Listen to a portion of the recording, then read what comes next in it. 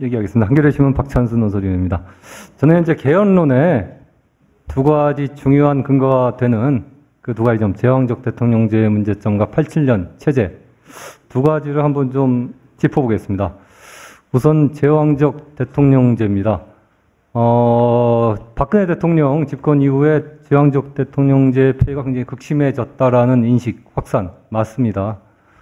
사실 국회 견제 잘 받지 않고 여론이 아무리 이렇게 하라고 써도 전혀 듣지 않는 대통령이라면 제왕과 별로 다를 바가 없습니다. 이 제왕적 대통령제가 미국에서 나온 얘기인데 imperial presidency 미국에서 학문적으로는 많이 쓰이지만 우리나라처럼 일상적으로 신문에 제왕적 대통령제가 거의 매일 등장하지는 않습니다. 미국에서는 그냥 학문적인 용어로 쓰이는데 반해서 우리는 굉장히 일상적이고 정치적인 용어가 됐습니다. 그런데 이렇게 제왕적 대통령제의 폐해가 극심화된 것이 과연 헌법 때문이냐? 이거 한번 좀 돌아볼 필요가 있다고 봅니다.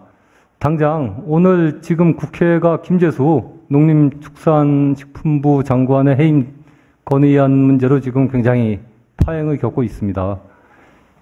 지금 청문회 제도를 우리는 국회에서 두고 있죠. 어쨌든 뭐 야당이만 참석했습니다만은 국회 청문회에서는 부적격 판정을 내렸습니다.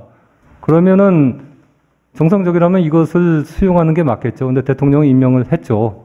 그리고 그러니까 이제 야당은 이번에 야삼당 물론 이제 국민의당 입장은 어떤지 모르겠습니다만은 야당이 해임 건의안을 제출했습니다.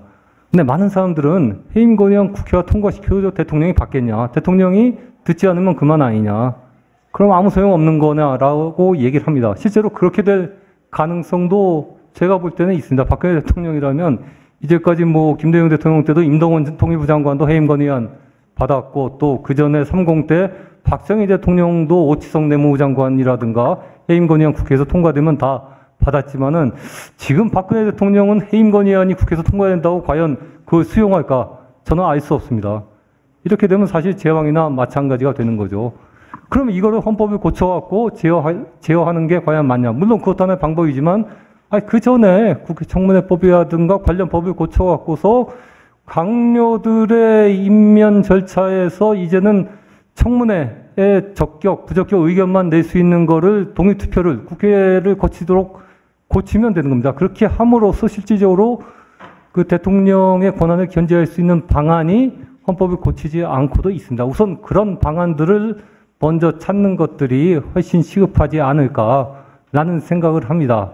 이런 것들은 꼭 그 최근에 그 얼마 전에 몇 달 전에 국회에서 이제 상시청문회법이 야당 주도 통과됐습니다만은 사실 청문회가 상시적으로 열리는 건 미국에서는 뭐 일상화돼 있습니다. 제가 워싱턴 특파원할 때 매일 그 미국 의회 이제 일정이 특파원들한테 이렇게 이메일로 옵니다. 보면은 하루에 보통 여섯 일곱 건의 청문회가 열립니다. 미국에서는. 그게 대통령제에서는 의회가 행정부를 견제하는 하나의 일반화된 관행이고 절차고 제도입니다. 근데 우리나라에서는 상시청문회법 제도 하는 것 자체가 이제서야 비로소 이렇게 된 겁니다. 이처럼 그 여러 가지 그 미비한 제도 또는 관행을 고침으로써 대통령의 어떤 그 제왕적인 권한을 상당히 제어할 수가 있다. 그런 노력들을 먼저 국회가 할 필요가 있다는 생각을 합니다. 어쨌든 87년 민주화 이후에 여러 가지 문제가 있었습니다만 크게 보면 우리나라 정치는 전체적으로 대통령이 갖고 있던 많은 권한이 분산이 되고 대통령의 그 권위, 특히 여당의 지배, 국회에 대한 우위가 많이 약화되는 과정, 그런 과정을 거쳐왔습니다. 그게 박근혜 대통령 들어서 약간 retroactive가 됐다고 해서 곧바로 헌법을 고치는 게 그것만이 대안이냐라는 데 대해서 저는 약간 좀 다른 생각을 갖고 있습니다. 두 번째 이제 87년 체제 문제입니다. 87년 체제, 87년 체제가 이제 30년이 됐으니까 그동안의 사회 경제적 변화를 고쳐갖고 헌법을 바꿔야 된다라는 그런 견해입니다. 저도, 사, 저도 사실 이 점에 대해서는 동의합니다. 1987년에는 어쨌든 모든 국민들이 원한 건 내 손으로 대통령을 뽑고 싶다라는 그거 하나였고 그렇기 때문에 대통령 직선제 하나에만 초점을 맞춰갖고 사실 헌법 개정이 이루어졌습니다. 그 외 다른 부분들은 별 관심도 없었죠. 근데 그동안의 30년에 여러 가지 많은 변화들이 이루어졌으니까 이제 전체적으로 좀 헌법을 한번 우리가 리뷰하고 검토해야 되지 않겠냐. 저는 그 점에서는 헌법을 한번 개정할 필요성이 있다는데 공감을 합니다. 근데 이건 다시 한번 거꾸로 이렇게 돌아보, 이렇게 제껴보면은 그만큼 지금의 개헌이 굉장히 어려울 거라는 것을 이제 반증하는 것이기도 합니다.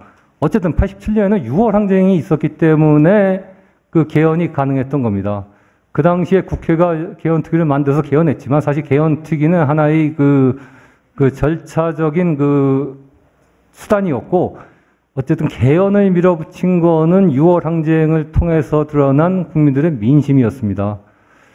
근데 과연 지금, 지금 개헌을 향한 그런 국민들의 열망과 힘이 있느냐, 그런 것을 결집해낼 수 있느냐, 저는 굉장히 좀 의문시 됩니다. 이건 현실적으로, 그래서 제가 전반적으로 헌법 개정의 필요성이 있다는 점을 제 개인적으로 인정하면서도 과연 현실성이 있겠느냐 하는 현실성 의문보를 굉장히 강하게 갖는 이유입니다.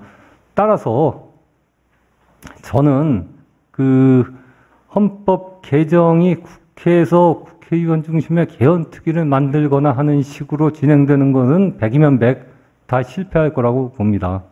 국회 주도의 개헌, 저는 국민들이 그거 믿지 않을 거라고 봅니다. 지금 대통령이 아무리 그 인기가 없고 제왕적 대통령이라는 비판을 하지만 그럼 그 대통령이 가진 권한을 나눠갖고 국회에 주는 거에 대해서 찬성할 국민들 없습니다. 대통령과 국민 중, 국회 중에서 그래도 누굴 더 믿냐고 하면은 아마 대통령을 더 믿는다고 하는 국민들이 더 많을 겁니다.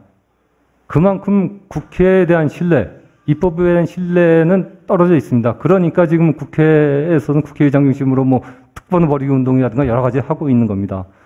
따라서 국회는 우선 그 개헌을 추진하려면은 장기적으로 국회가 국민의 신뢰를 먼저 얻는 그런 작업을 거쳐야 된다고 봅니다. 그리고 국회에서 국회의원 중심의 개헌 특위를 만들 게 아니라 한번 그 국회, 아니, 헌법 전체의 그 뭐가 문제인지 모든 국민이 다 개개인이 그 이해관계가 걸려있는 여러 가지 조항들 중에서 뭘 고쳐야 되는지를 한번 좀 전반적으로 리뷰해보는 뭐 20명, 30명의 전문가 그런 그룹이 아니라 뭐 200명, 300명도 좋고 그런 대규모의 어떤 만민 공동회식이 한번 전 국민적 토론회 같은 것들을 조직해 내서 그래서 개헌의 공감대를 확산시켜야지 비로소 국민들이 아 이게 개헌이 이러니까 개헌을 할 필요가 있겠구나 하는 것들이 좀 인식이 각성되지 그렇지 않고 국회의원 중심, 국회 중심의 개헌은 이거는 또 권력을 자기들이 갖고 자기들끼리 나눠 갖겠다는 것이 아니냐라는 인식으로 귀결될 위험성이 크다고 봅니다. 이상입니다.